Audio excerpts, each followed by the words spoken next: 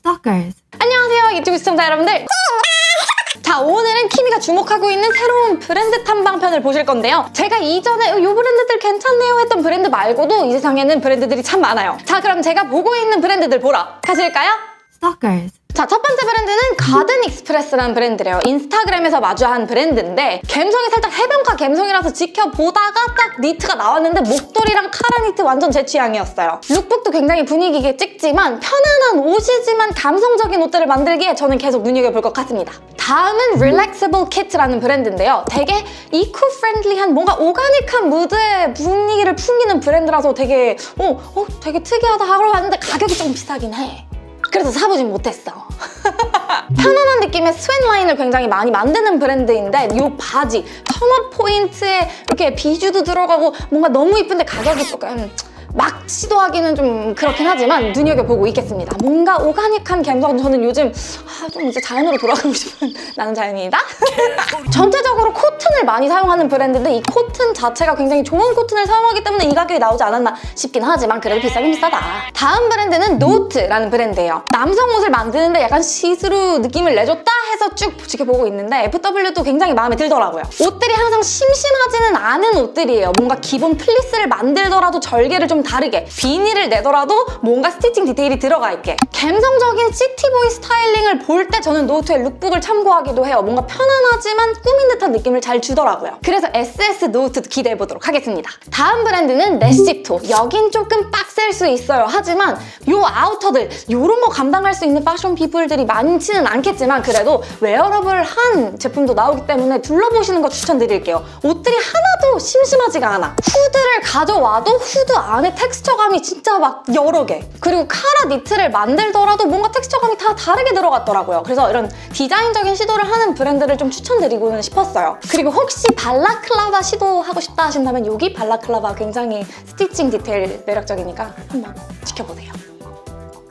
제 취향이에요. 다음 브랜드는 키퍼탈리라는 브랜드예요. 옷에 SKU가 많지는 않은 브랜드지만 뭔가 detail적으로 봤을 때 옷에 신경을 많이 쓴다는 느낌을 받아서 지켜보고 있는 브랜드 중 하나입니다. 특히 파카인데 저 후드 detail을 보면 string 조임이나 캡 이런 detail이 진짜 매력적이더라고요. 아직은 옷에 SKU가 많지는 않지만 어, 앞으로도 되게 재밌는 옷들을 만들어주실 것 같아. 좋은 퀄리티에 그래서 지켜보면 좋을 것 같아 라는 브랜드를 추천하도록 하겠습니다. 자 다음은 핀스룩이라는 브랜드인데요. 제가 여기 코트를 접해보고 살짝 뜨억하기는 했어요. 캐시미어 30이 들어간 코트 가격은 비싸긴 하지만 정말로 원단감이 진짜 미쳤더라고요. 그래서 원단 갖고 장난하지 않은 브랜드구나. 바지도 굉장히 turn-up 포인트가 딱 들어갔고 앞으로 SS 시즌 뭔가를 만들어주실지 궁금하더라고요. 그리고 무드 자체도 뭔가 unisexual하되 너무 중성적이지 않아서 추천드리고 싶었습니다. 계속해서 지켜보도록 할게요.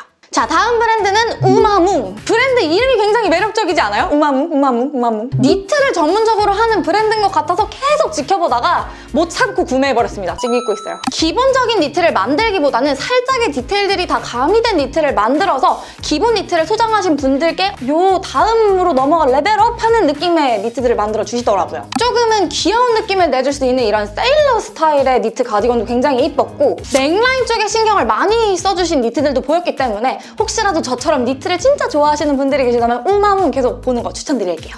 저 니트 바지도 샀는데 굉장히 마음에 들었거든요. 자, 다음 브랜드는 라이든 빌로우라는 브랜드. 여기도 니트 때문에 보게 됐어요. wholegarment 니트 제가 좋아하시는 거 아시죠? 니트를 이렇게 잘라서 엮어서 이렇게 만든 게 아니라 한 번에 짜내는 wholegarment. 그런데 wholegarment 니트 중 색깔이 좀 pop한 제품들을 만들더라고요. 이 브랜드 또한 옷의 SKU가 엄청 다양하지는 않지만 굉장히 기본 제품을 탄탄하게 만드시는 것 같아서 추천드리고 싶었습니다. 이 니트 제가 조만간 한번 사볼게요. 자, 다음은 베르노. 제가 니트를 좋아해서 어쩔 수 없이 니트 브랜드는 계속 보게 되는데 이 베르노 인스타그램을 계속 볼 수밖에 없었습니다. 사장님께서 계속해서 노출을 해주시는데 꽈배기 짜임이 겁나 예술적이지 않습니까, 여러분? 근데 니트 색감 또한 굉장히 예술적이지 않습니까, 여러분? 맞아요. 뭔가 입기 쉽진 않겠지만 뭔가 보기 좋은 옷. 하지만 웹사이트를 들어가시면 굉장히 기본적이고 무난한 제품군들이 굉장히 많기 때문에 니트를 전문적으로 하는 브랜드의 니트 어, 이것도 한번 지켜보시면 좋을 것 같아요. 생각보다 흔하지 않은 컬러감의 니트들도 종종 있기 때문에 보시는 거 추천드릴게요. 자, 마지막은 컴젠이라는 브랜드인데요. 이 브랜드는 인디에프와 정구호님께서 만들어낸 탄생시킨 브랜드라고 합니다. contemporary 브랜드지만 생각보다 구매하실 수 있는 가격대의 제품들이 굉장히 많아요. 그리고 색감적으로도 굉장히 다양한 시도를 하더라고요. 그래서 옷장에 좀 pop한 컬러감의 아이템을 추가하고 싶다 하신다면 이 컴젠도 한번 둘러보시는 거 추천드릴게요.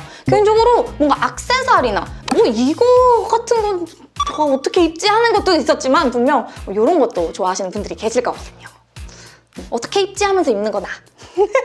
Stalkers. 자 이렇게 해서 키미의 새로운 브랜드 탐방 보고 오셨는데요 물론 제가 기존에 추천했던 브랜드들도 역시나 계속해서 이쁜 걸 만들어주고 있어요 하지만 계속해서 저는 여러분들의 어, 패션 시야가 넓어지고 어, 또 이런 맛이 있잖아요 보물찾기 하는 느낌 인스타라는 그 방대한 시장에서 내가 이걸 찾아냈다 하는 그 짜릿함이 있거든요 이 짜릿함을 함께 하고 싶었습니다 자 그럼 저는 앞으로도 열심히 어, 인스타를 뒤지고 뒤지고 뒤져가지고 새로운 브랜드를 찾아오도록 하겠습니다. 그럼 안녕!